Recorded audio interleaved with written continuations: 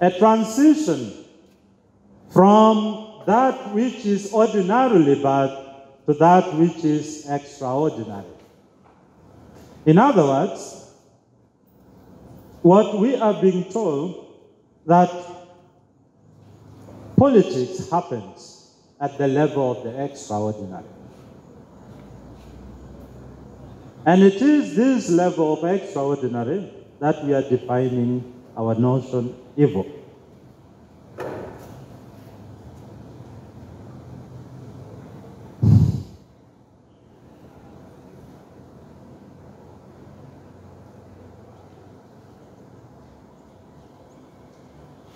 How to be evil.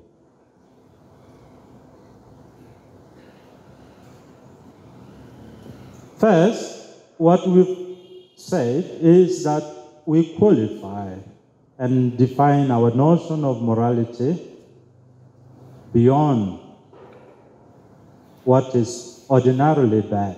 And we go to the third level of what we are calling extraordinary, that is the zone of the evil.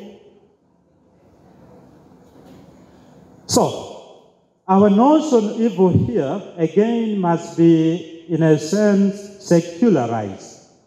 We are not talking of evil vis a vis God and Satan. We are not talking about God and Satan. We are not talking about uh, holy and unholy, but we are talking about a moral type. We are talking about a moral scenario which is beyond the ex, I mean, beyond the ordinary, and that which we are calling extraordinary. To start thinking with us is Friedrich Nietzsche. Friedrich Nietzsche writes a book, and the title of the book is Beyond Good and Bad. And in this book, Beyond Good and Bad, Friedrich Nietzsche argues that what is important is that when you think in terms of good and evil, that has been the classical tradition, then you are limited to ascending to political power. Because political power is outside the idea of good and bad. Now, let me demonstrate. The concern of good would make you a bit moderate because you want to be seen good. The concern about evil will make you moderated because you fear to be evil. And we've already uh, defined, we've already, uh, in a sense, conceptualized our idea about evil, that which is extraordinary. A morality that, an immoral act that is extraordinary. So, Nietzsche, or Friedrich Nietzsche, in the book Beyond Good and Evil, argues that the space of politics is value neutral. You don't have to be good. You don't have to be evil. Why? Because the thoughts of goodness would, in a sense, limit your ascendance to power. And the thought of bad or evil also limits your ascendance to power. And the power he's talking about is political power. And so, what Nietzsche says is that he who needs power must transcend anything called good, any value that is so said good or qualified as good, and that which is immoral and qualified, we've already said uh, the extra uh, uh, ordinary immoral character, what we are calling evil, moving and transcending good and evil. Because his concern is power. He who wants power must move beyond good.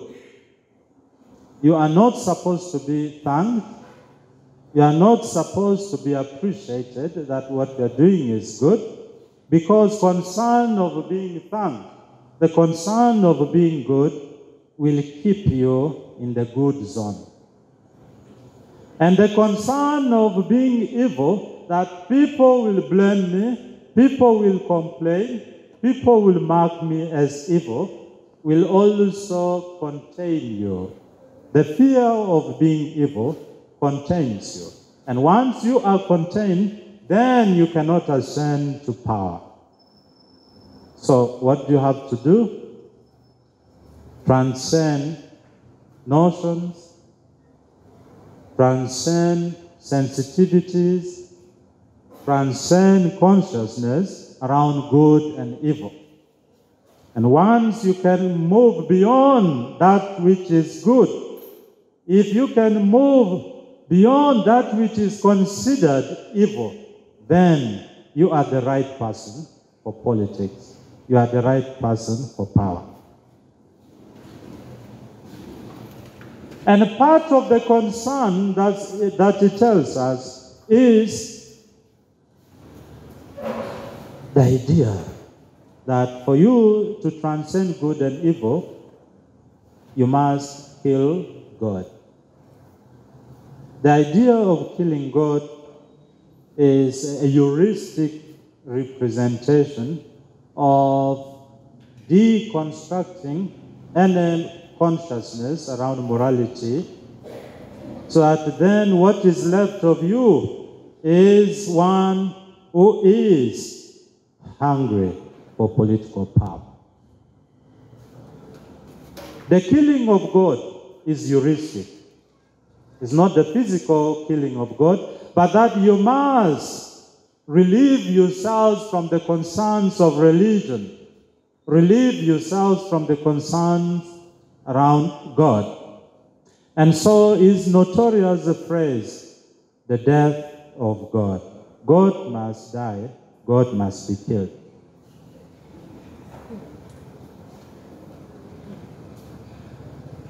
And once God has died, God has been killed, you are ready for politics, you are ready for power. And now you qualify to be called a superman. In German is Übermensch. Übermensch is the idea of the superman. He whose eyes is focused beyond what is good, beyond what is bad. He has no considerations for these value limiting spaces. Because the consideration of good will make you not do wrong. And the considerations of fear around wrong would create some timidity around you. And you are not going to ascend to power. Power requires that.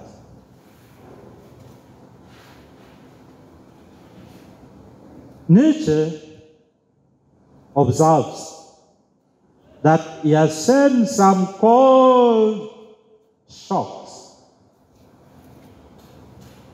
and he wants to redeem you from this. And he says, values, this idea about good and this idea about bad is not natural. It is human constructed. It is constructs. Good is a construct. Bad is a construct. It is not natural and it is not divine. At a certain point in time, and this is his idea of the genealogy of morality, that the concept of good or evil grew in the historical time of ancient Greek, in the Christian values, Christianity, and in Judaism. Ancient Greek, Judaism, and Christianity popularized a certain value of life and living and made them look as though they are natural. And Nietzsche argues none of these are natural, they were man made. And that man has created these values for that time when human mind was still predisposed to simple uh, values, accepting values at that rudimentary level. Now the human mind has civilized, has gained more consciousness. And it is time to break loose because that was slave morality. Ancient Greek morality that we presented in uh, the book, The Republic of Plato, virtue, wisdom, moderation, and on and on, together with the Christian morality of thou shalt not kill, thou shalt not steal, thou shalt not uh, uh, lustfully look at your uh, uh friend's wife, and on and on and on, in his view, was slave morality. It limited position of power. It limited individuals becoming supermen. And since these were not natural values, but man-made, it was time to transcend. Nietzsche argues that he seems to have succeeded telling you and I that what we thought were natural values are not. They are man made, they are constructed. And over time, it was now clear that they were dangerous to human vitality. They were now dangerous to human movement upwards towards power. It was crowd morality it was slave morality. But he wants to think about a master. He wants to think about a master. He wants to think about a politician. He wants to think about this person who has a drive to power, a drive for power. And so the transition in his mind was that now I need to recreate a new type of value, a value that is uh, expunging the traditional or ancient morality to give way for his master. A new master value as opposed to a slave value. And that master should have a will to power should become a superman. And that led him to reject all moral values. In a technical sense, we would call that a situation of nihilism. There's nothing good, there's nothing bad. All these were human constructs to control But now you have to ascend. You don't have to be controlled.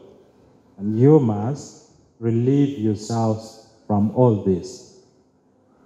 In fact, what was seen as evil for as long as can help you to achieve your ends are good. Nothing is evil in itself, provided it helps you to achieve by catapulting you to the top.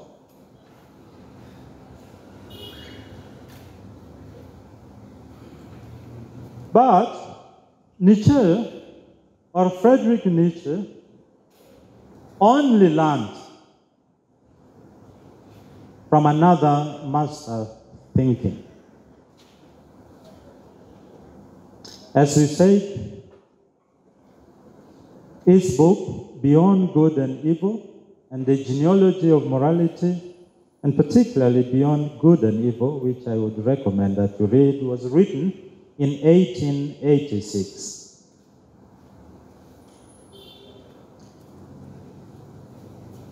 Shortly before that, there was a masterpiece, Leviathan, by Thomas Hobbes.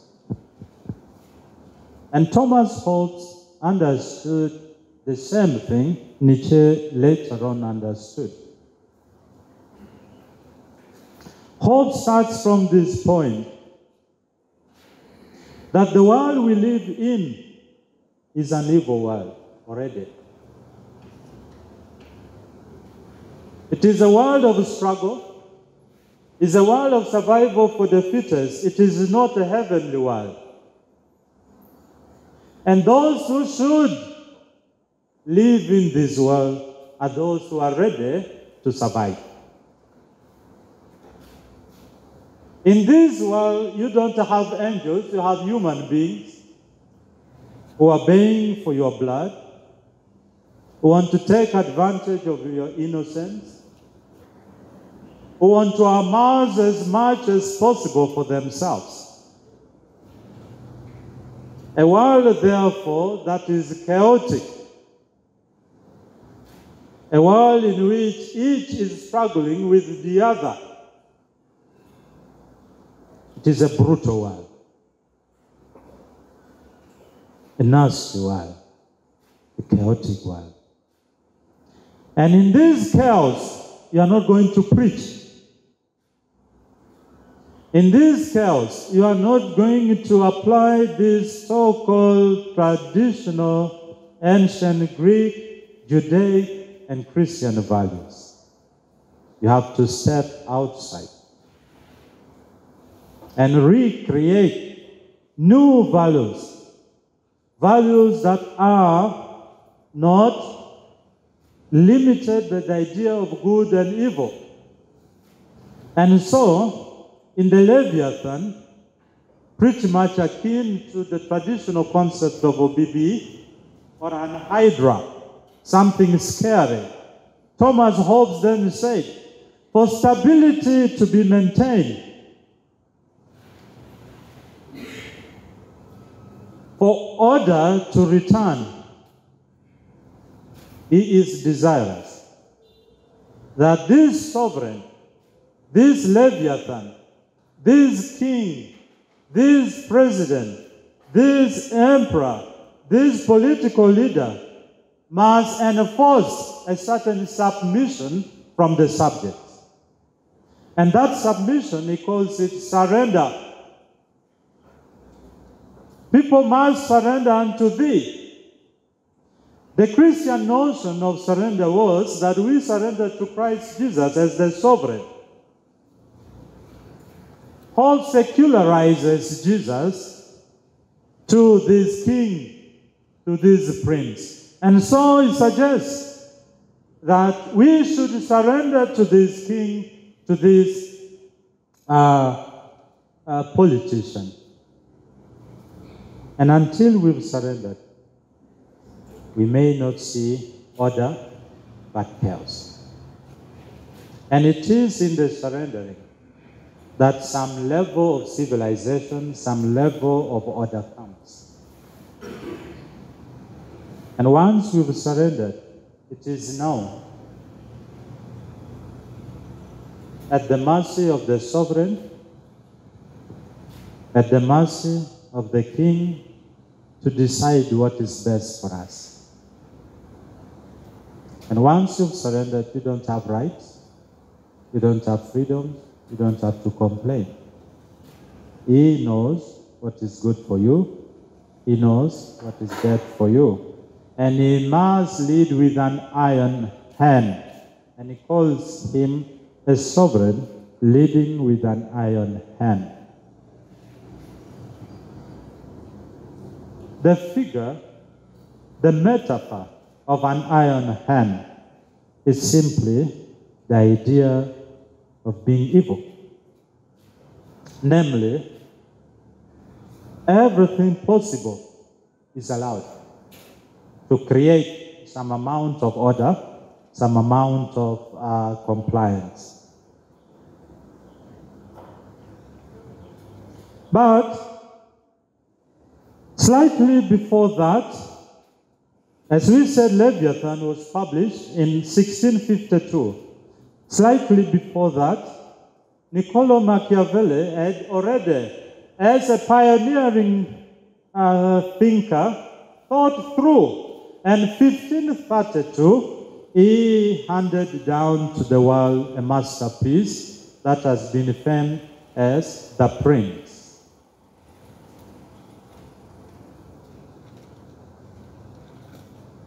Machiavelli argues, I am not theorizing. I am telling you practical politics. I have been in politics as the foreign secretary of Florence. I've known, I've seen, I've experienced what the politicians do and what politics and power does. And from a very practical perspective, I'm going to tell you what politics is. But much more important is, is a sharp look into not the general content of politics, but the politician, the prince. You could have said the emperor or the king. At the time of his writing, Italy or Rome had collapsed into princedoms. The prince of Florence, the prince of uh, Sicily, the prince of uh, Rome, and on and on. So it's now talking to the prince. The equivalent is the king, the equivalent is the president.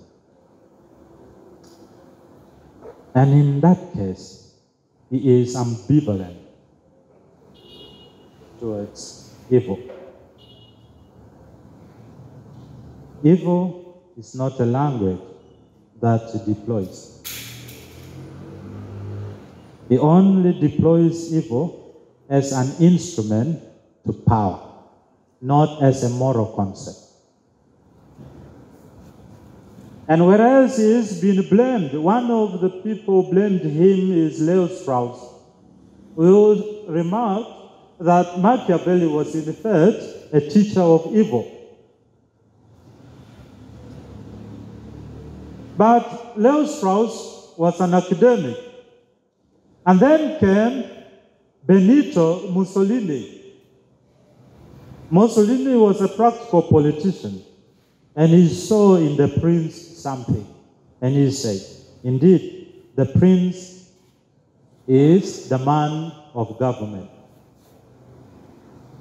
In other words, it is the handbook for he who wants to manage government.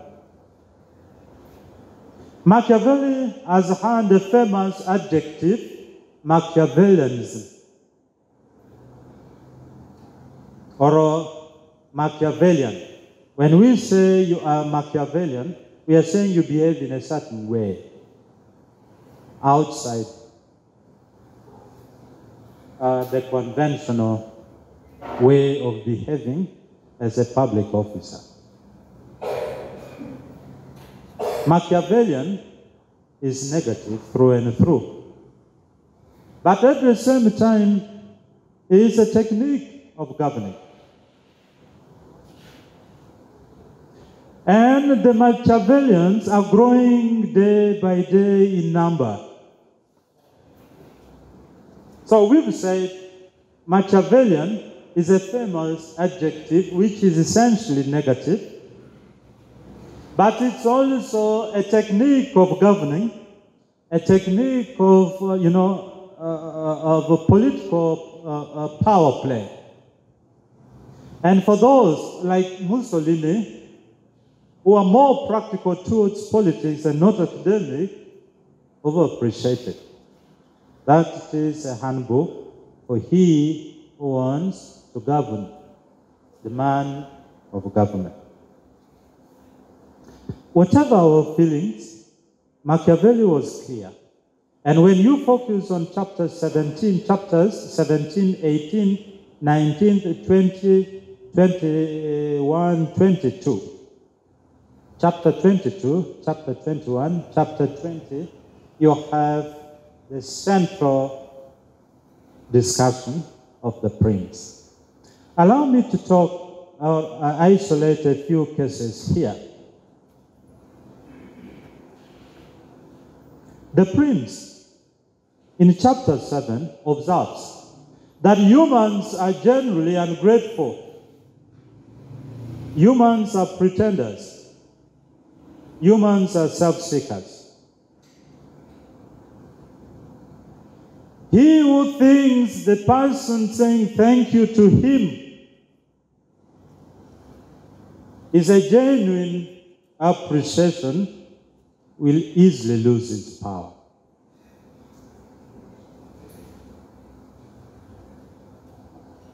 Because if you got him poor and you gave him some money, he's now a millionaire. He will not stop. He is still a self seeker who wish to become a billionaire. And if the reason for his riches is because you are in power, then power is that good, makes me richer. So I need that power as well. So, Machiavelli then tells us in chapter 17 a good prince must appreciate that humans are ungrateful and not take a thank you and appreciation for granted.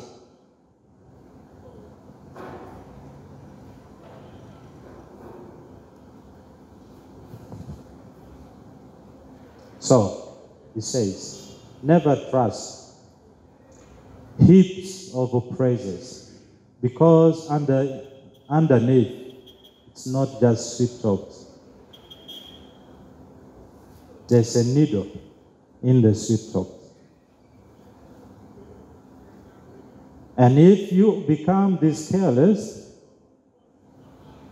that the people you've transformed will forever become grateful, then you are losing. But because of this, you have to maintain oneself in a cautious mode. And that cautious mode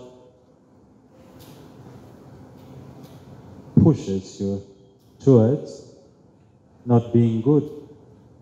You must be cautious. You must be unreadable, unreadable.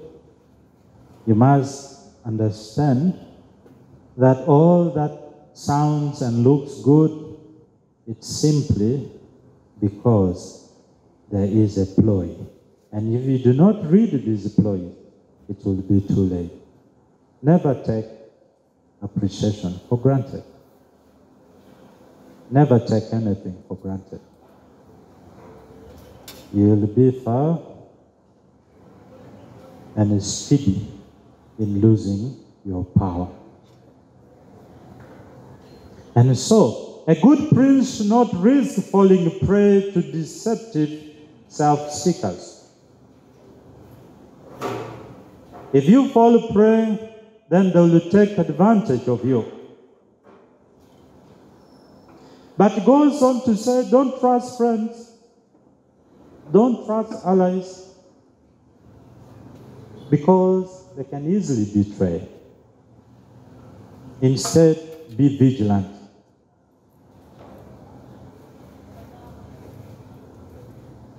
Be vigilant. And for those who betray you, you don't have to be clouded with some moral sentiments of forgiveness. You must act and timely. Now, acting and timely implies a certain conversation, a conversation of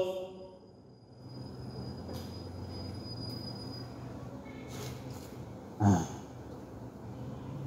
in the language of Machiavelli, killing.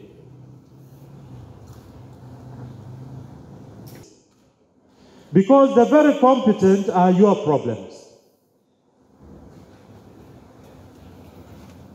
Excellence is not important in politics. When you have an ally, when you have one of your ministers, one of your friends so competent, he attracts publicity. He attracts appreciation. He attracts confidence. And as he attracts, you are losing confidence. You are losing publicity. And when you have such a competent person near you, it dims you up. So you must be wary about competence. And so instead of choosing competence, you rather choose loyalty. However stupid the person is, however unthinkable he is, provided he is loyal. Loyalty is to your advantage. A loyalty that is unquestioned.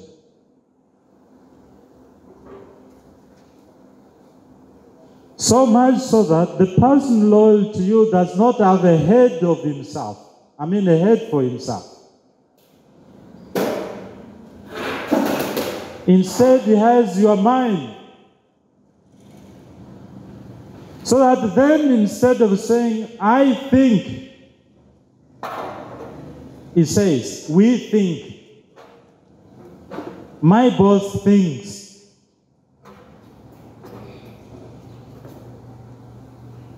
Competence creates individuating an individual. You become part, far apart from me. And you have a mind of your own. When you have plenty of people with minds of their own, how can you govern them? They become ungovernable. Rather, you must have total loyalty. That you have a group, you have a people who don't have a mind for themselves. They have your mind. And think your thoughts. And so we say, not I think, but we think. The we is actually you in the collectives of all of us. We've agreed, we've thought, but it is you has multiplied yourself all through around them. In that way, you are able to retain your power. Already we said such a, such a person that you've confronted or learned is not towing the line, you kill. And so he creates two characters in a prince the lion and a fox character. A good prince must behave like a lion. Why a lion? A lion believes in strength and uses strength and uses force to the maximum.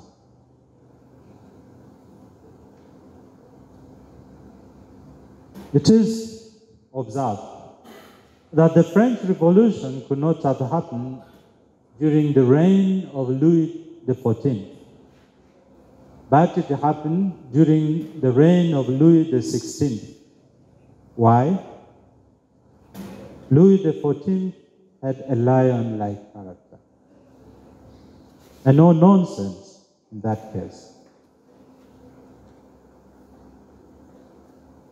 Believe in force and power. But Louis XVI was a bit uh, uh, inconsistent. At a certain point, featuring as a lion. At another point, like uh, huh? Uh, a cat, very humble, a cat, mm. a cat or a sheep, a bit humble and uh, oh yeah, and and and and that became a problem. This inconsistency gave way to the revolution because it showed its weaknesses. So, Machiavelli argues the issues of the day shall not be resolved by fine speeches, blood, blood and iron. This was Bismarck. Bismarck was simply being Machiavellian. And that is exactly what Machiavelli did say. A good prince must learn to be a lion. But there are situations that when you behave like a lion, you create and you generate and you invite blames on you. We begin to mark, we begin to profile you as a dictator, as a brutal person. And that can also uh, uh, uh, undermine your power. So there are situations that you have to behave as a fox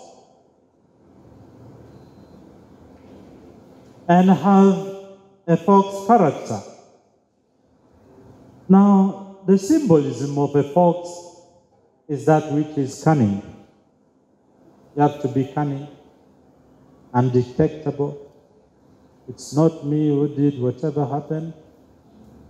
We come and we all uh, uh, bath. We all blame what happened, but I know what happened. So at the end of the day, you create an ambivalence around you we do not uh, exactly know who caused what. But something is done, and I'm very happy. But I should not show that I am the one. I must have a smart way of dealing with some complex issues that does not require a lion character. One of them is keeping promises. At the time of ascendance to power, you have a number of interested parties who are also very useful on your way to power. You are fighting your way to power. They can help you, and you can instrumentalize them. In other words, you can use them as instruments or tools. So, what do you do? You promise all of them something. You'll be the vice president, you'll be my vice president, you'll be my prime minister, I'll promote you to a general and on and on and on and on, being foxy. And everybody is happy and they're busy working for you. As soon as you get your interest or your interest is taken care of, abandon the promises. Because you never intended the promises in the first place. It was a technique of ascending to power. And you needed these men who are actively involved in helping you to ascend to power. Keep them interested, oil their interest and ego, and once you've succeeded, don't keep the promises, especially when the promises are not in your interest. What happens when they begin to make noise thereafter?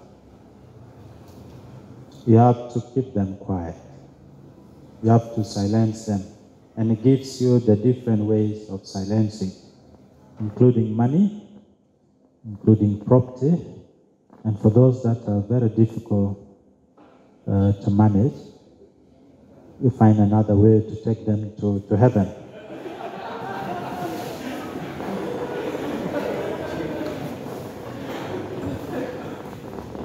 because if, if, if, if, if you don't do that, this complaint, you see this man walking, it's me who made him the president. You see this man, uh, you know, uh, it's me who, so you, you, you create commotion around my power. So I have to do something. If money cannot keep you quiet, I send you to, to heaven. So, on the whole, Machiavelli loves deception. This is the fox character, deception. And he argues is more rewarding than honesty. You can't be honest when the economy is not doing well. You can't be honest when your soldiers are being killed. You can't be honest when the opposition are planning something else. You must speak in tongues. You must have a double or a double character or a double speak. You're saying A, but not meaning A. You're meaning something else. Deception is a technique of governing. Even at home, chances of you telling the truth to your wife is very difficult that you don't have money. You tell so Rama, um, uh, everything is okay. Um, everything is okay. Don't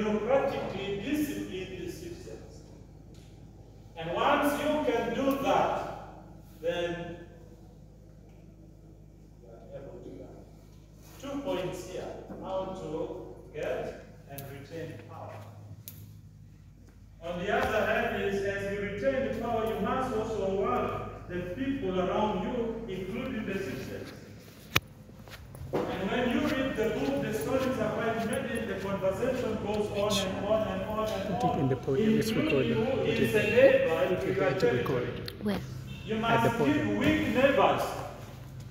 Because when the neighbors are so strong, then that's a problem to you.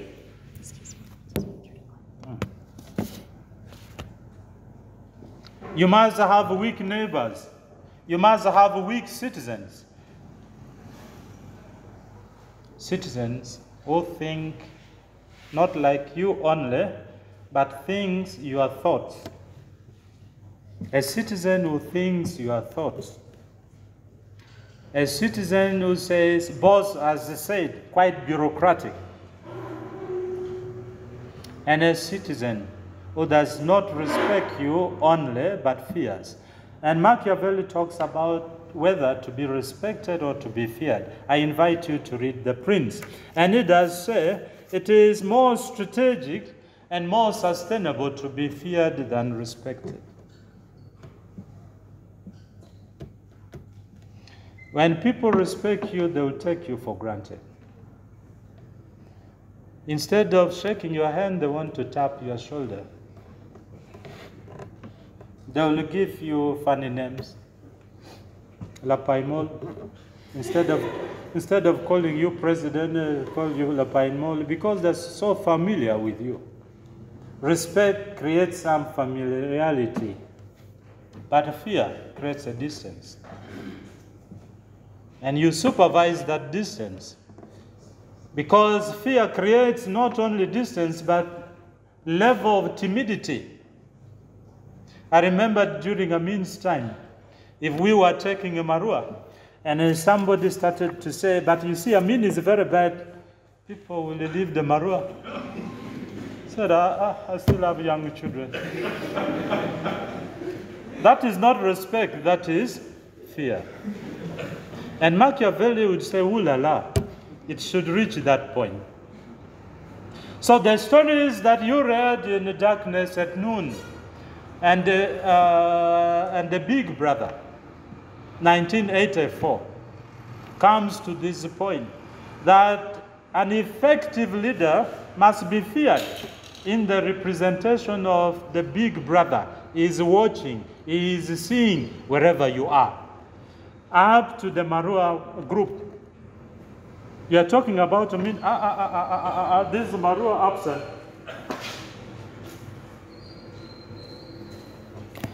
The last section of our presentation is Is that so? Can we sustain the Machiavellian tradition? Can we sustain the Thomistic tradition, or I mean rather Hobbesian uh, tradition, Thomas Hobbes? Can we sustain the idea of a Superman?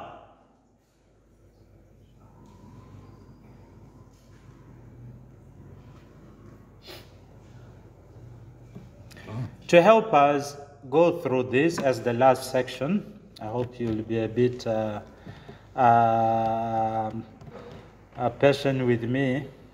We are going to read a book by Arendt Anna, and the title of the book is Eichmann in Jerusalem. Eichmann in Jerusalem. Adolf Eichmann. In German, it's not Hman, but Hashman.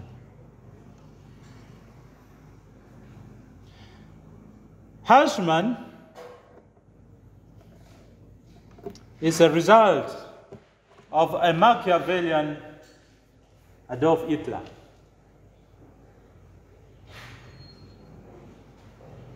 He is manufactured and produced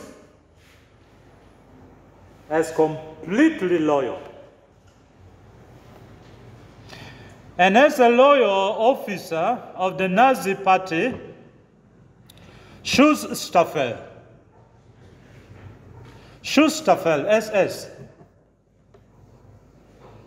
was notorious for masterminding what you would call the Auschwitz. The Auschwitz were extermination camps inside Poland created after 1939 when Poland was invaded. And it is this invasion that created the World War II.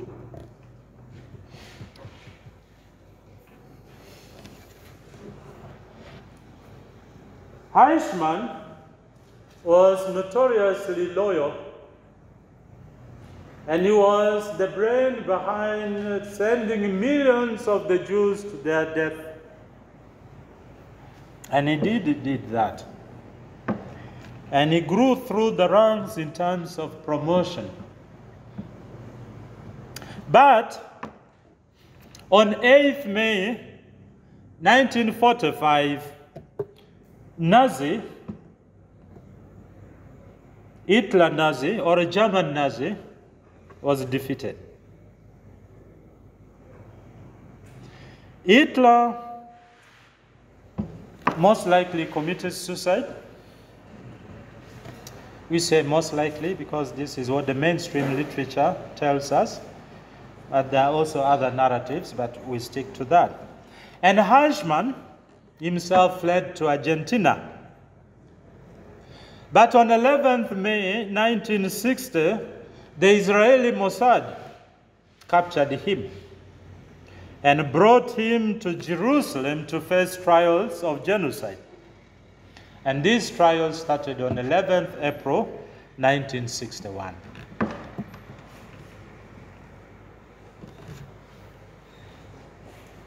And to cover this trial was a young, beautiful lady, herself a German Jew, a Jew, a German Jew, who narrowly escaped, but escaped to USA. And she got interested in the trial and requested to go and cover the trial for the New Yorker. New Yorker was a magazine. And a series of trials that she, uh, you know, uh, covered ended up into a book. And the title of the book is Eichmann in Jerusalem, published in 1963.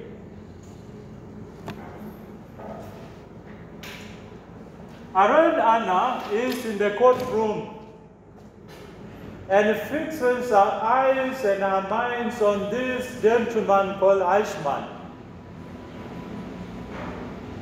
But before entering the courtroom, she had a mind, she had an attitude, she had a perception about Eichmann.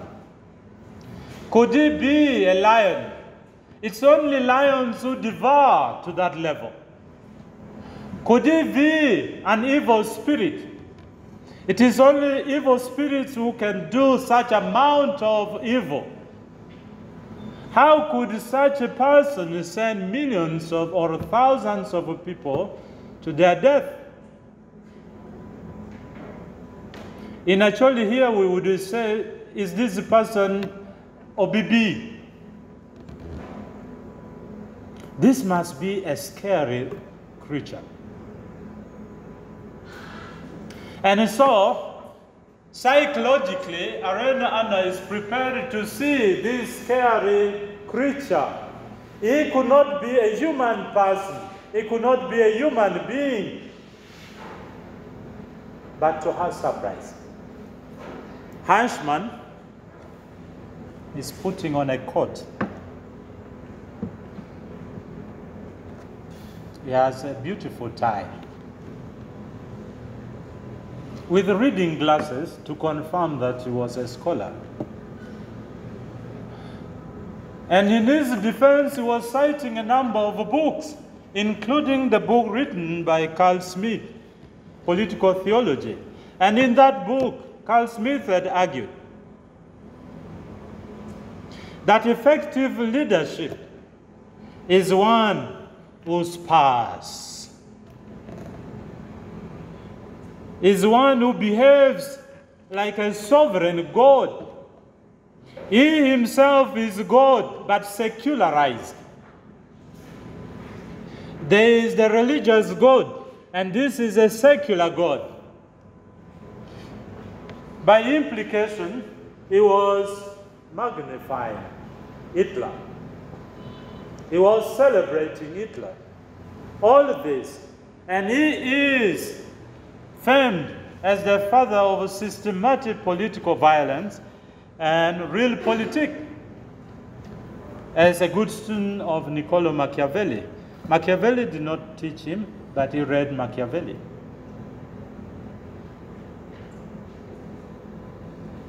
Anna Arendt wonders.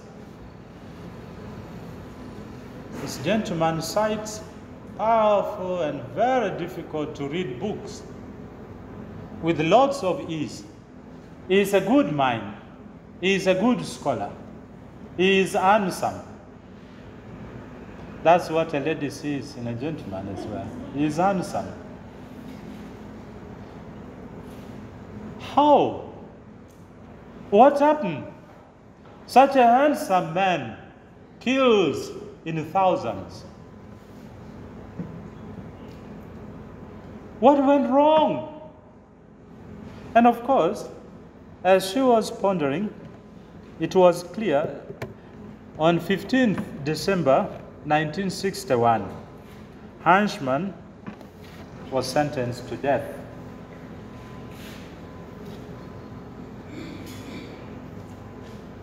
And indeed he died. Okay, he, he was killed. Not that he died, he was killed. Sentenced to death. 15th December, slightly before Christmas. On a number of counts, crimes against humanity, crimes against the Jewish people, and war crimes. Arendt Anna is not satisfied and she is asking, where is the problem? This man is not a murderer. I refuse. Because this amount of killing, something else. And Anna Arendt begins to make that which is evil thinkable. Arendt, like a good scholar, does not rubbish, does not judge. Well, it is evil, as it were, but it is thinkable. It is this bad, but it is thinkable. We have to think through this evil of Eichmann. Where is the crime of Eichmann? Anna Arendt says it is not the killing of thousands of Jews. That is not his crime. Well, he did it, and he has been uh, sentenced to death, but his crime is not the killing. Something else is bigger than the killing. That you could kill with ease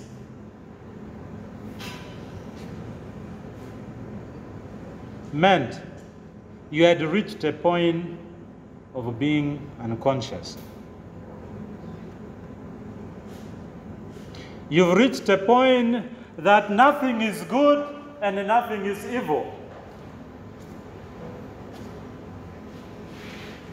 And that point where you don't see anything good anymore, and you don't even see what you are doing is evil, what you are doing is bad, Arendt says Eichmann had reached a point of thoughtlessness. That the crime of Eichmann was not the killing, his real crime was thoughtlessness. Eichmann was so loyal to command. Eichmann was so loyal to the mind of the sovereign the mind of the leader, the mind of this powerful politician, that he left his mind probably in his bedroom. Eichmann had not carried his mind anymore. And so he was commanded to kill, so he killed. To annihilate, so he did. To collect all these subhumans as they were referred to, the Israelites as subhuman, and other Slavs and on and on, all in a train, the concentration camp to be exterminated. He did with lots of loyalty. Where was his head? He left it in the bedroom. Can't you think, no, he had been uh, degenerated to a level that nothing was bad, nothing was evil, nothing was good. Aaron Anna says that is the level of thoughtlessness. So the real crime, the real evil of Eichmann was thoughtlessness. He had become so loyal to the system. He had become so much of the system that he could not think for himself. And what created this thoughtlessness? Imagine, before we name this, imagine there is a demonstration. And then you have uh, people going. We go, we go, we go, we go, we go, we go, we go, we go, we go. You will also join, no? With a stone in your hand, you see people throwing, you also throw. It turns out to be good exercise anyway. You see people rapping, you also uh, you join. You see people killing, you also join. Bandwagon. Being a part of a system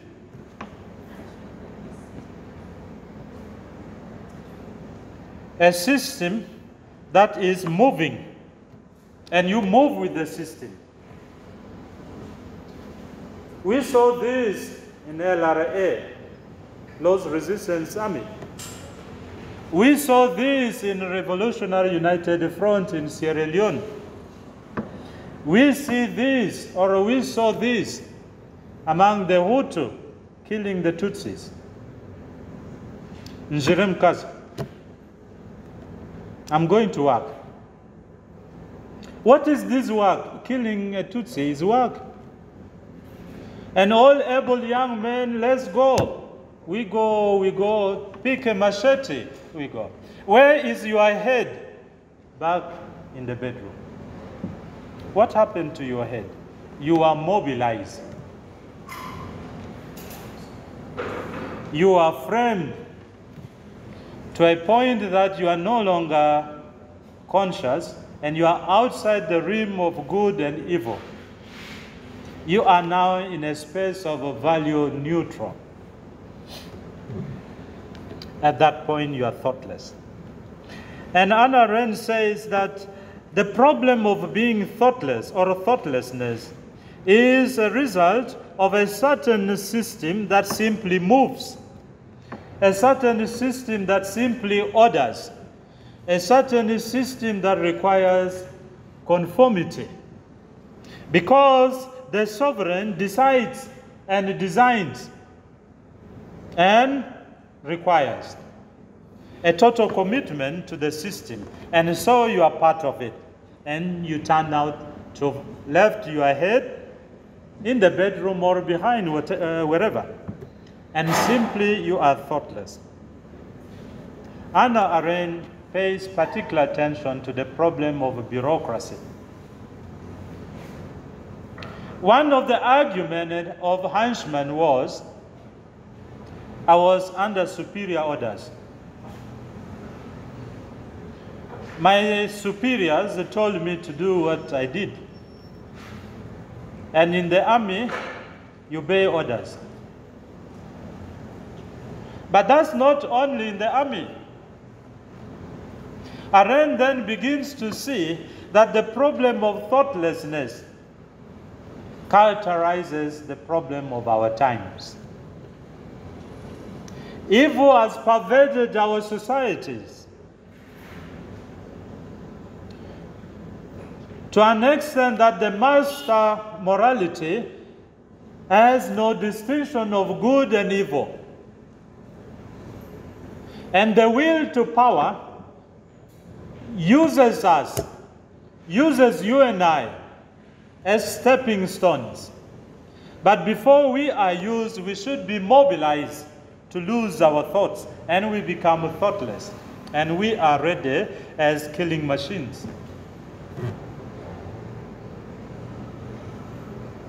In the names of obeying orders, in the names of obeying systems. At that point, Anna Arendt says, then I conclude. He who commits evil as a result of being thoughtless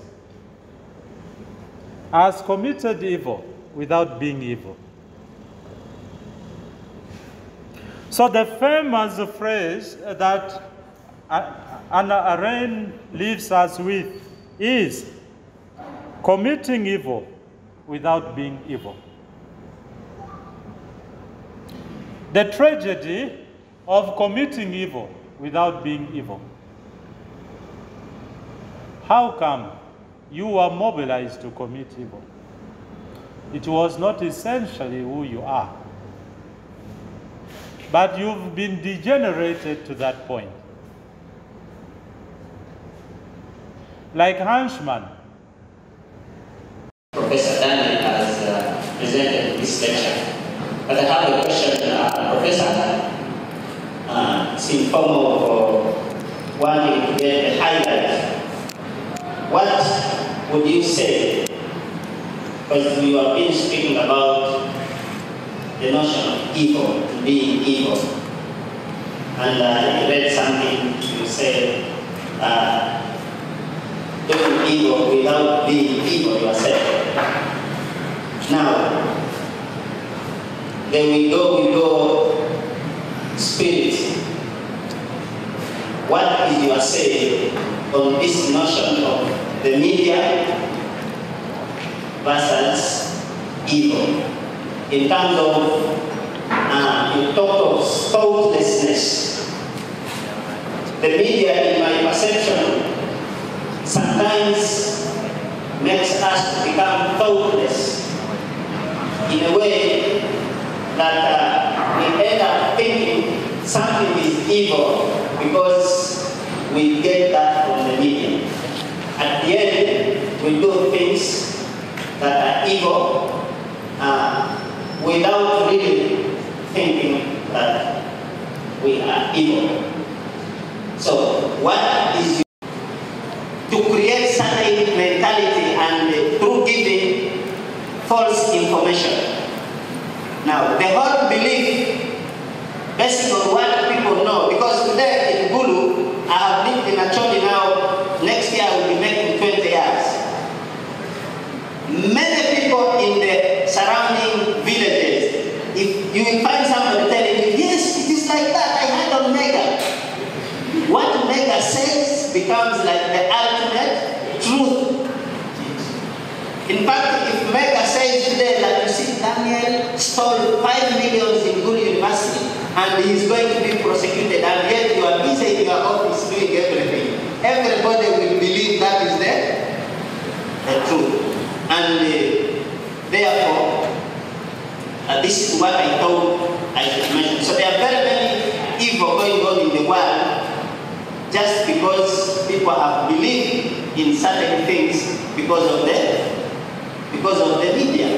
And we end up committing evil, harming ourselves just because of the beliefs we picked just by believing what we saw in the media. The last example I will give is the Libyan history. In all of us here, I'm very sure we were alive at that time.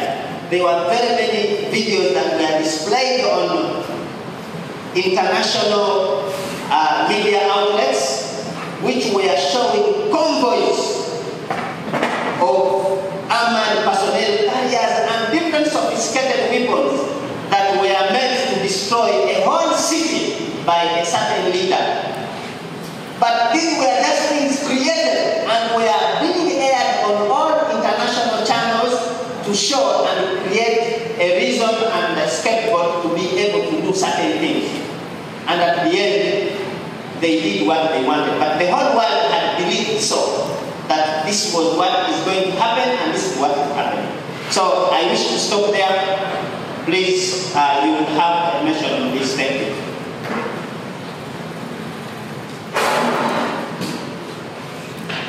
Thank you very much. Any other question?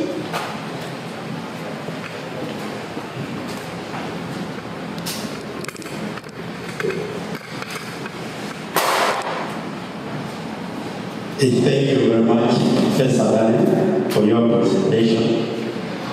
My name is William Patrosi. I want to agree with your presentation that how to become people, but across our society.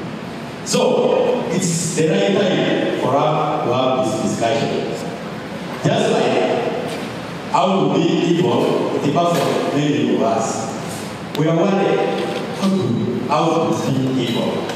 That's why I was really so attentive. But in the similar way, I want to add, in the same way when people are told to rest in peace, they don't know how to rest in peace. So it's better we also learn what? how to be evil. Hey, this is a hodgepodge. It's a mixture of many things.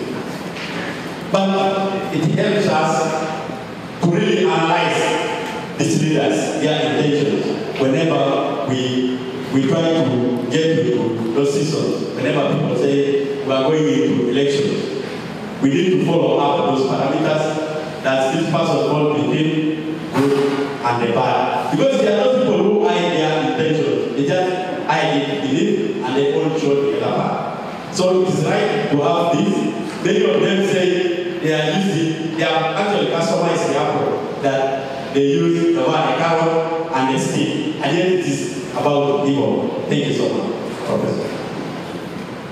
Um, we're going to take two more questions, but I'll pray be very, very brief when we are asking or you're making a comment. Thank you, Professor. And good your colleagues. My name is Rocky Menoyo. I'm a history teacher. Now, the question goes around we think about how thoughtlessness is created or guarded against in the religious institutions. Because at the beginning of your presentation, you said morality rests with the church. And power and all of the surrounding evil things, when separated, rests with politics. But we also know that there is a lot of politics in the church. Those leaders, how they get elected to become the topmost, some of them have the influence of the head of state. And sometimes I think that the head of state um, has a way create thoughtlessness in the church, insofar as they go to the question. When the head of state came here and was looking the whole of Caribbean with his daughter, his wife, and uh, you know the massive convoy of the army uh, coming to pray, I wonder a lot um, if Jesus would have done the same thing with our mom. So my question is, how is the church guarding against thoughtlessness? Or actually using it in a certain way? Maybe they, they, they use the Bible, the, the things, and the people who go to church actually also don't think, they don't question the other side of life. Thank you. Thank you very much. I think we are getting done. I think some of us questions just My name is uh, Daniel.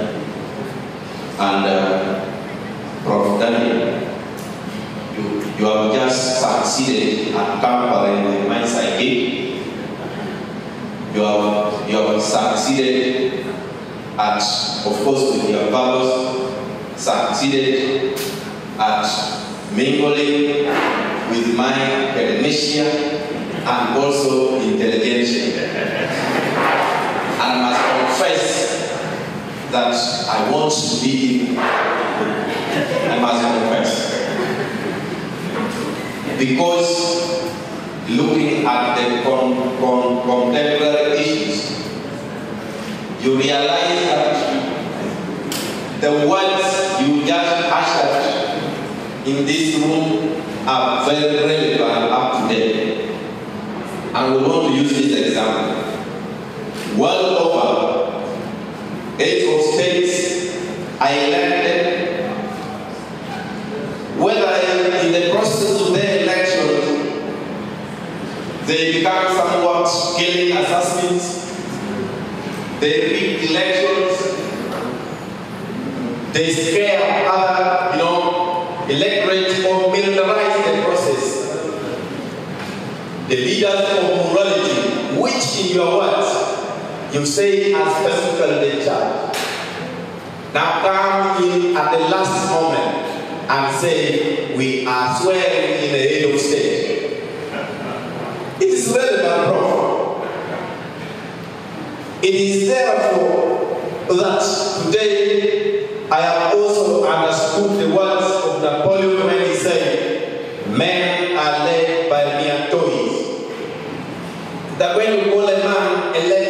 general, when you call a local man in that ordinarily that a chief, you are creating that thoughtlessness you talked about. Prof, if I am to award you, I would simply award you by requesting me to officially recruit me to be a student of Machiavelli.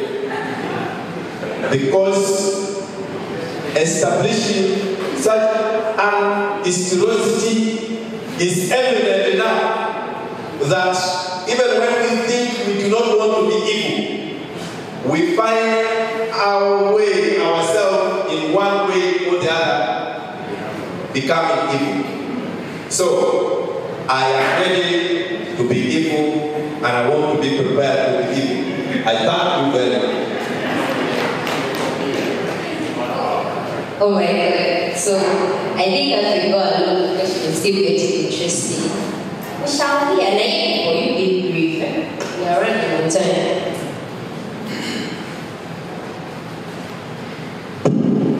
Thank you so much, Professor Daniel. And by the name of White Lawrence Justin, I think on my behalf, it is today that I can appreciate the way the, the way the likes of Joseph Stalin made their way into power. So, but in the context of being evil, how does one apply that kind that Ma- Machiavellian way in a purely democratic state where all the all the rules are there that govern that define your your your levels of action, how you should react in certain situations. The rules are already there, and your tenure of office is is already established. How do you apply that Machiavellian character? That is my question. Thank you. So we're going to follow that how people are so good.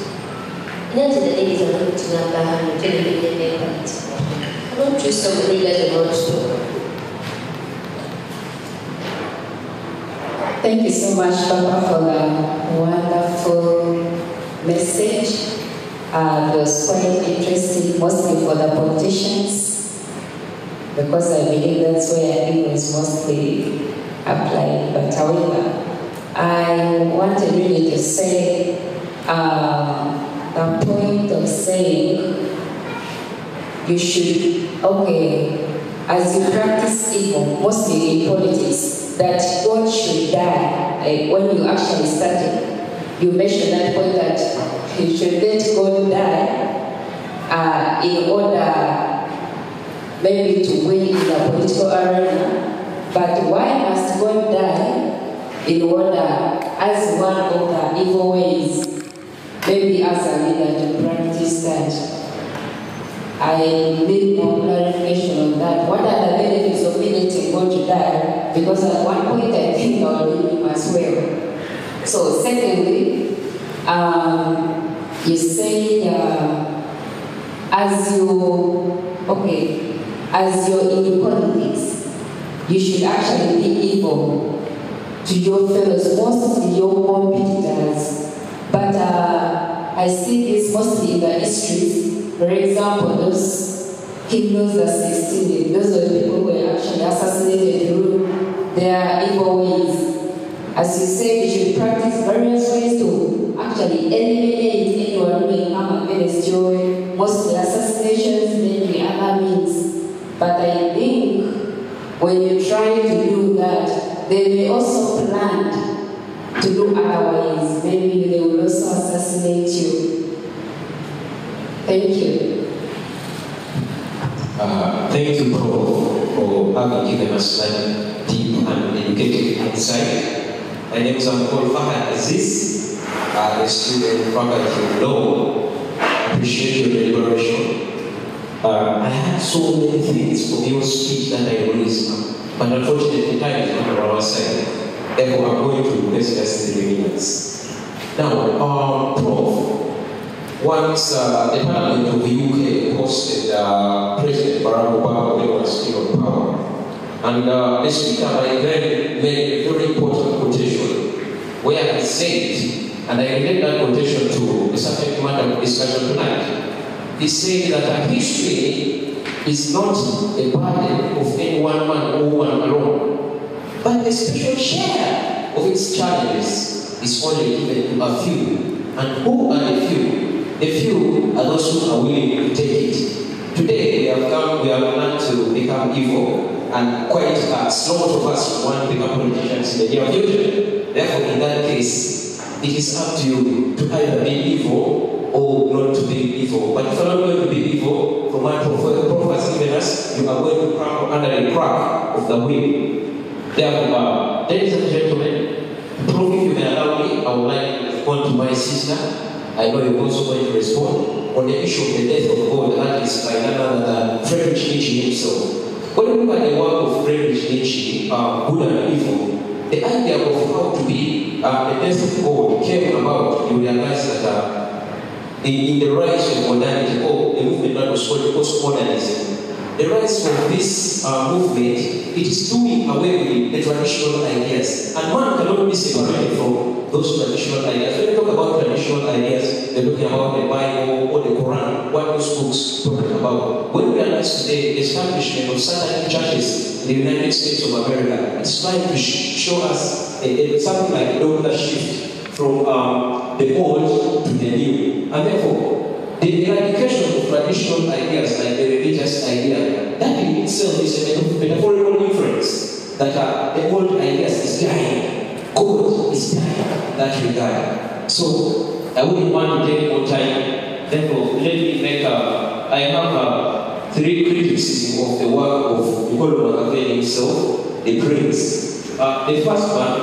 I don't agree with Machiavelli also on grounds that when when you undertake a deep scan of political uh, philosophies like Gandhism or the 1960 uh, movement, the Martin Luther King movement in the United States of America, they use peaceful means. They never advocated for violence. And therefore, that is showing you that uh, uh, uh, Niccolo Machiavelli's idea as postulated in uh, phrase itself is, not supreme in our political waters in that regard. And uh, secondly, uh, I would like to clarify on the issue of uh, how to be evil. The moment I read that inference there, how to be evil, it is a metaphorical inference. If you try to understand evil as we understand it, uh, you're not going to arrive at the right understanding of the word how to be evil in that sense. You have to look, it is, a, it is more descriptive than definitive. If you're going to define it, you cannot really understand this uh, theme for today. And uh, lastly,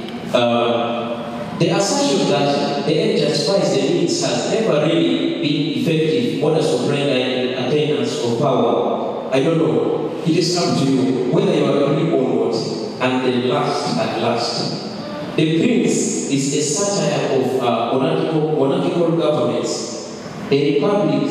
So, what I'm trying to say here is that when you look at the prince itself, when you look at the setting and the times when the prince was written and published in that regard, this was time when the when, when the Roman Empire already fallen, just as Prophet put it, Of course, Lorenzo de Medici was coming to establish the Medici Empire in that regard. So, to win favor of the Medicis, he had to write that book as an advice based on his political experience by then. But there are certain critics by commentators which I also agree with. They are saying, when you look at uh, the book, The Prince itself, as Niccolo Machiavelli described in the work, he wrote the prince to rulers of municipalities in exclusion of republics. When you look at the current establishment, we are under republics, not municipalities in that regard. When you look at this, about municipalities, it is under, under, under, under kings in that regard. They are not under kings. We are under politicians and presidents in that regard. Therefore, that statement alone, in a sense, it tries to render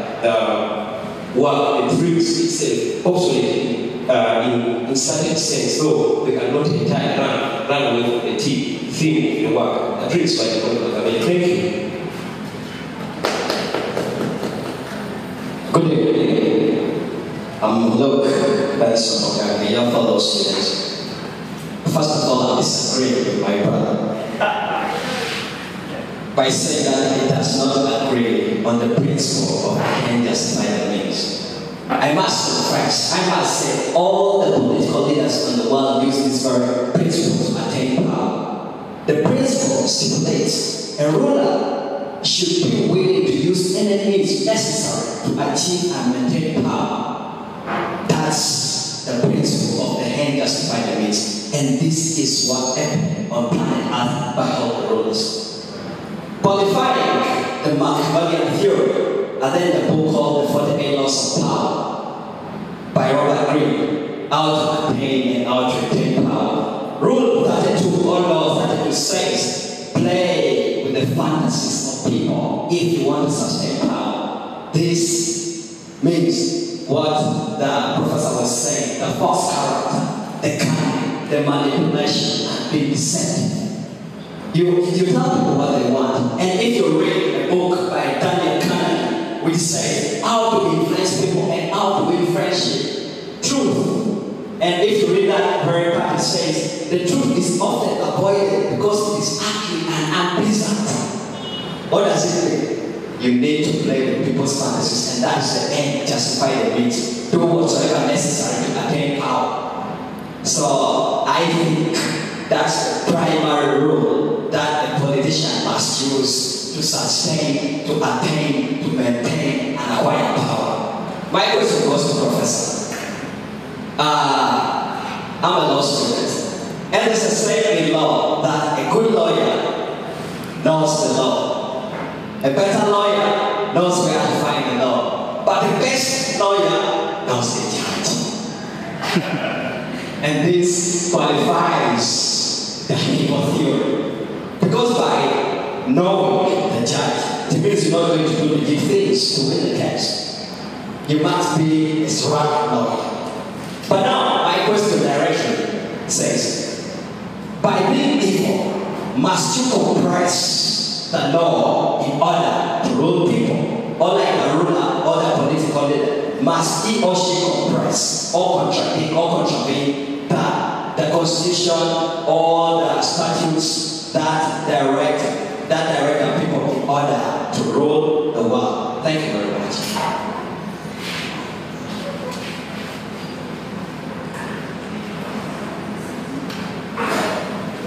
Uh, good evening, everyone. My name is Master T, uh, Councillor from Badegri City Division.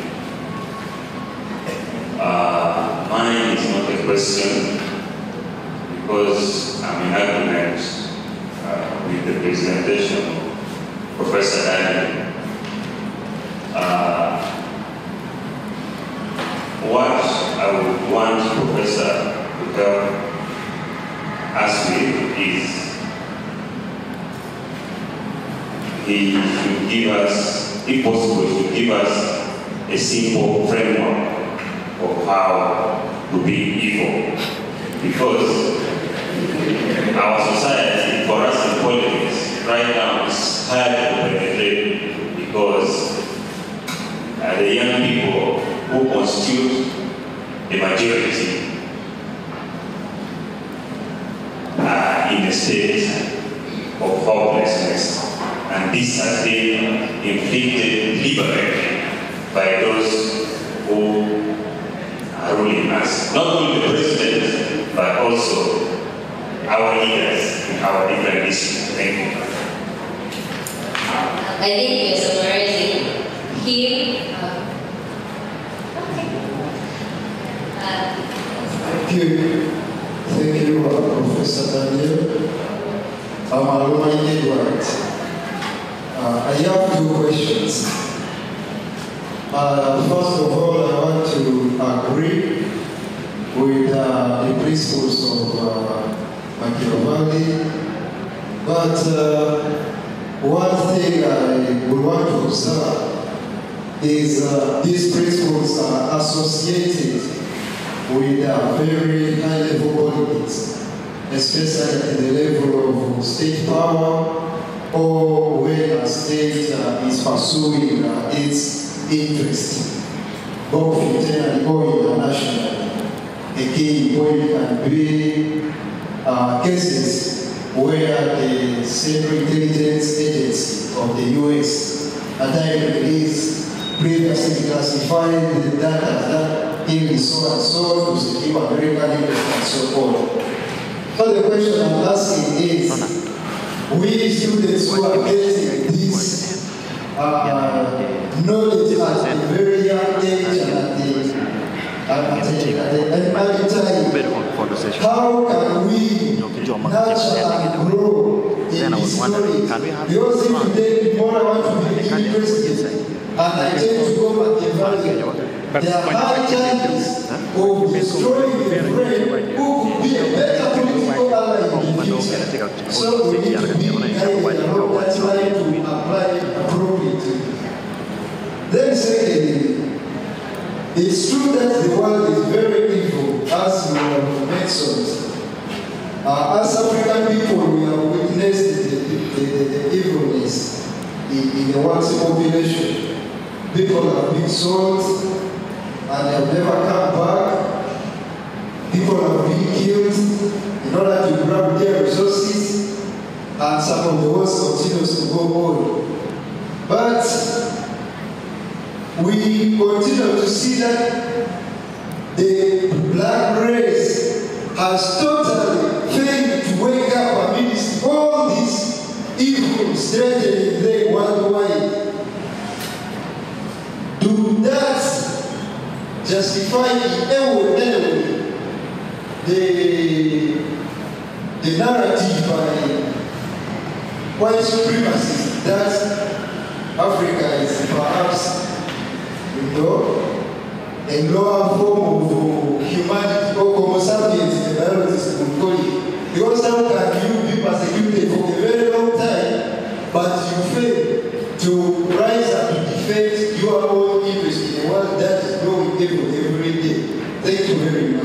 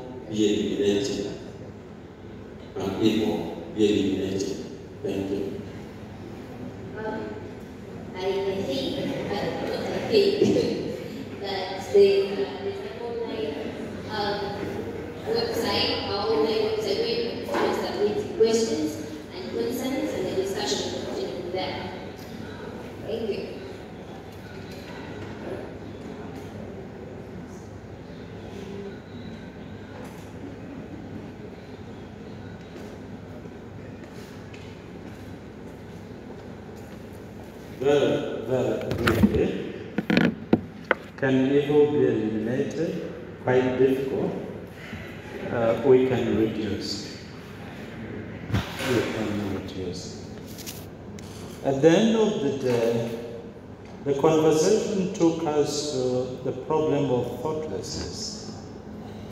And I did say that it is at this point that evil is committed.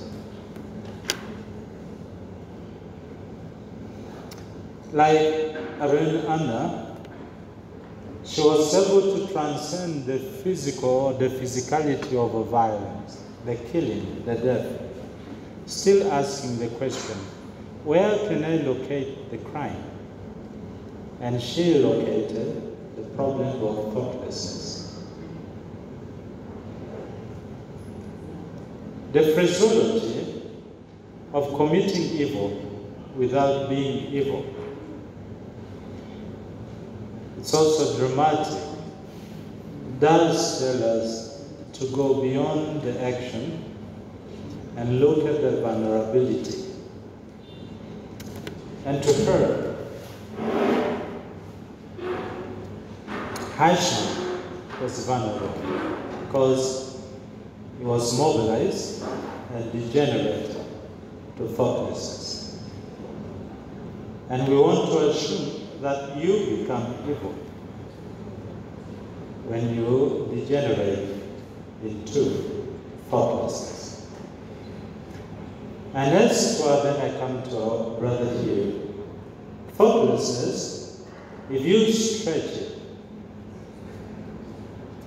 as a social theory of evil, then it has a history, you can create a genealogy around. that. we saw the colonial thoughtlessness towards the colonized. And uh, they went into a killing spree. Some of you read Joseph Conrad, The Heart of Darkness, and many more. In a sense, uh, celebrating the killings of the Africans. It was part of the system that was moving and produced and regenerated thoughtlessness. Today it lives with us. The phenomenon of thoughtlessness that creates us into evil men, evil women, lives with us. The case in northern Uganda about Balalo. When you listen to the narratives, the Balalo are our problems. Balalo are the reason, or they are uh, the reason why we are poor. Are we mobilizing ourselves into some thoughtlessness around the Balalo? And if it is stabilized, then there is a reason for violence. From the narrative, from our perception. We need to think through that. And that's why we're saying we need to have an amicable solution here. This is a site for producing thoughtlessness. And even he who may not hold a, machete may hold a machete. Not that he's a killer, even when he killed, but that he was mobilized into this Oh, oh, problem of thoughtlessness. How do we categorize evil? The problem of categorization of evil. It's difficult because again it's also constructive and so it's constructive. And in a sense, in the continuum, of shifting or moving from wrong to evil, we assume that that which is beyond wrong, both of them are moral questions. Wrong is a moral question, and evil is a moral question, especially one secularized, uh, not the church aspect of evil. So all of them are in the continuum of morality. But we qualify that as extraordinary for now. But still the categorization can go on so that we get a more stable understanding of what evil. So in that case, euthanasia, we still place it as a wrong. It's an ethical wrong. It's a professional wrong. But it has not yet transcended into evil because we think it's not extraordinary. But again, that's another problem. Black consciousness. Why do we allow uh, to continue uh, suffering wrongs and evil, particularly evil? Again, as we think of that, we should also realize the colonial durability, uh, deploying new, uh, you know, methods of keeping us uh, unconscious. One of them is the television we watch. Europe is always beautiful, we admire and we want all to be there. The cosmetics we, we, we, we, we, we use, particularly our sisters, uh, white is beautiful, so you want to paint yourself. And, uh, and then the men also admire brown, uh, you know, uh, the act of browning. Browning is another concept that uh, we need to say. So whiteness is continuously becoming superior. So the durability, colonial durability is there. A framework of how to be evil, uh, brother. Uh, probably I needed to say this from the beginning. Uh, maybe together we, we pray that we do not produce a framework of evil, but that we should be conscious about evil. So we are building more consciousness towards evil and how evil actually comes and operates to an extent that you commit evil without being evil. So we are, we are in a sense limiting framework of evil, but uh, enhancing consciousness around evil. In other words, to show that this is how bad, particularly when we started with a, a, a mainstream idea of real politics, which is about gaming. Politics is gaming, and part of the game is killing. You can kill a person as a, an opponent, you can kill a people as a race or an ethnic group, that's genocide. All these are within the trajectory of a power competition. So we are saying this framework needs to be reduced by creating consciousness around evil. Shrewd lawyer, I agree, and thank you. Uh, yes, uh, you, you and uh, my colleague and all of us has uh, uh, told me probably we need a reading group. And probably uh, the society can take on that. we have regular and serialized. We can go into classical readings. Plato, Aristotle. Uh, maybe we start with Egypt, Egyptology. Then we come on, on, Arendt Anna, somebody loves it, uh, Frederick uh, and many more. Uh, I would be happy. So, but the point here is, as you have shrewd lawyers, the ruler, the shrewd ruler must also know his people and know their fantasies. When they, when they love God, you put resources there. Hallelujah. Hallelujah. Then they will forget critiquing you. If they love uh, Ndombolo Yasolo, put money there. Let's keep them dancing. And they'll forget about uh, power. So that's what a shrewd ruler must know his people. If they like Wakata Tonto or uh, Lira Lira or, uh, or Marua, uh, keep them there. So that then you have a, and we've seen this working in, in, uh, uh, in the ghettos. The price of a bottle of beer is probably half cheaper than in the, the main store. Why is it cheaper? Oh, yeah, they cannot afford, that's the reasoning. But the whole point is that you can drink more.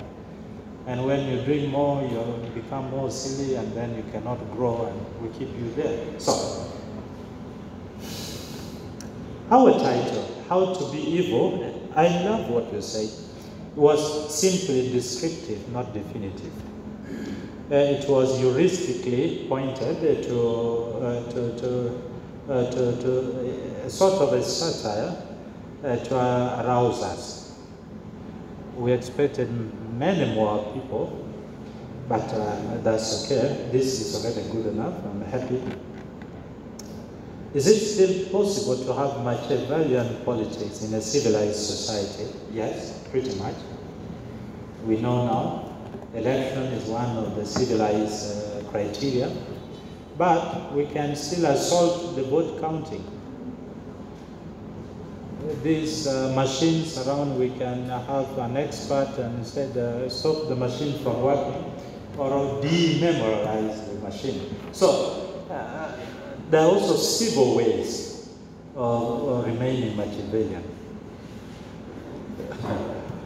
God must die. I think that was answered. The whole idea is forget about uh, religion and morality because these are, in a sense, uh, it's, it's, a metaphor uh, to, in a sense, show that religion and morality originates from this, this figure called God. So if you don't want morality to trouble you, you don't want religion to trouble you, you have to destroy the source, and the source is God. So how do you kill God? Retrench him, retire him, ignore him, you go for coffee, then you have no problem. Now, not that you don't have a problem, but you decided you don't have any problem, eh, no noise about God around you. Democratic state, yes. Is it still possible to be Machiavellian? Pretty much. Because demo, which means people, and kratia, which is rule, ruled by the people. So what you happen, uh, what you do is you release uh, stable normative principles. And then you say people decided, people decided we, we all want to walk naked on the streets of Gulu. That's democracy. Then we would walk. Like they said, crucify him, crucify him. That was a bigger noise. That was democratic. And Pilate had to say, ooh la la, there you are. So, democracy has created post-truth. Because post-truth is the idea that nothing holds, everything is right and true, provided people are happy with it. So the impact of democracy is post-truth.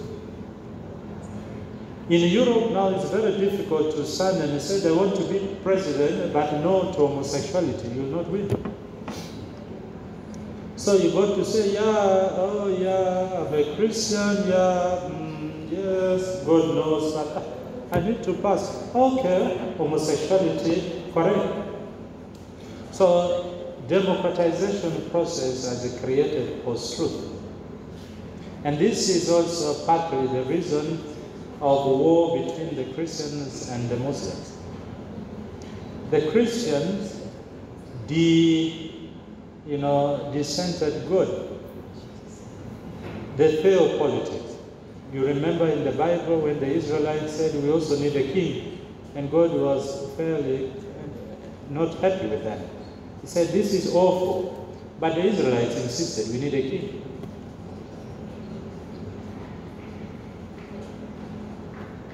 In, uh, in the Muslim world, the emphasis is political theology, the combination of politics and uh, fail. God must be in politics. God must be in uh, all that we do. The Western world, and that's what they brought to us, is political theory. Human mind crafts, creates political systems because we are intelligent. The Muslim world are saying, no, it is political theology. Politics must be theologized. In other words, according to what uh, the Holy Books do tell us. Lastly, very lastly, uh, yes, it started with the question of media. We saw media in Rwanda providing a momentum to gain and retain, to displace, gain and retain power. So media plays a role. And media behaves also in a Machiavellian way. What do we do? We need to embarrass the other side we are contesting power with. We need to demonize them. Where is responsibility when matters of power is concerned? Uh, uh, journalistic profession is put aside, and uh, raw sense and sensitivity of power emerges, and that's why Machiavellian. So mediatize disinformation. It, it, it works in the hands of those who are wrestling in power to realign thoughts in a particular way. And when you misinform people, you de-enfranchise them and they become less thinking and they become thoughtless and they become zombies. Is it zombies? And they walk with you as one. Let's get an you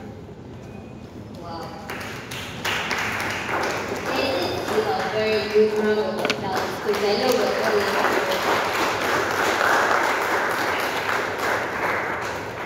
Thank you very much, Thank you. Professor.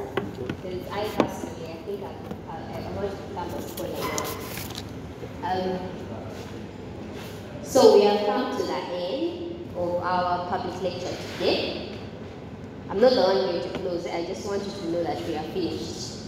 Um, I want to encourage each one of you to always come because I believe last time we learned a lot about our nutrition and food, and today we are learning a lot about um, politics and power. And I believe well, this just expands your knowledge beyond what you taught in class and beyond your field of profession better adapt to suiting your world better.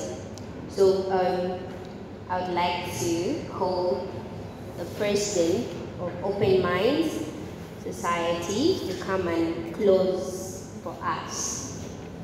Thank you Thank you very much, uh, Michelle. Thank you very much, Prof, uh, for the messages, for diving deep into Machiavelli and many other scholars. Um, thank you also to you, the participants, for making it up to this hour.